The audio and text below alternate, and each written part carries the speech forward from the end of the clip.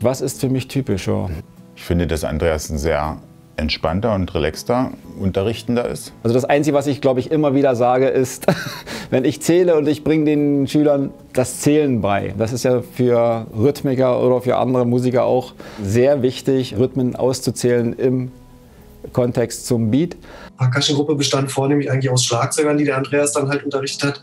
Ja, da haben wir uns ein bisschen mit reingemogelt. Aber da hat man eben auch ziemlich äh, schnell gemerkt, dass die Schlagzeuger da eigentlich dann doch immer ein bisschen besseres Timing-Gefühl hatten. Andreas hat eine sehr spezifische Art, manchmal einzuzählen. Da geht es nämlich nicht 1, 2, 3, 4, sondern irgendwie 1, 2, 5, 8.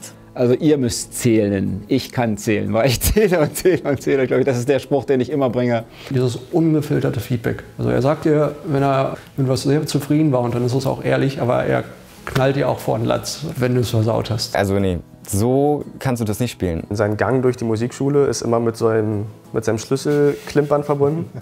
Also wenn man unten sich schon mal irgendwie warm trommeln soll oder so, dann hört man ihn oben vom Pausenraum immer schon kommen, wenn er mit seinem Schlüssel ein bisschen... Also mein Schlagzeuglehrer, Herr Pfannenbrand, der hat immer gesagt, ich soll die Sticks nicht so halten, sondern so. Und da das oft vorgekommen ist, musste ich mir das oft anhören. Vor allem, weil ein Schlagzeuglehrer hört halt Gitarre anders als man selber als Gitarrist. Von daher hat man da immer mal aus einem komplett anderen Bereich Feedback bekommen. Also man hat, wenn ich es heute noch mal so zurückdenke, schon gemerkt, dass es eben auch eher pädagogischer Ansatz war und jetzt nicht, weil das die beste Schlagzeugtruppe der Welt werden soll, sondern nee, wir machen mit den Leuten, die da sind, halt, äh, stellen wir was auf die Beine. Ja, er, er konnte ja natürlich selber nicht das Didgeridoo spielen, dafür war ja Uwe immer da und ist er ja immer noch.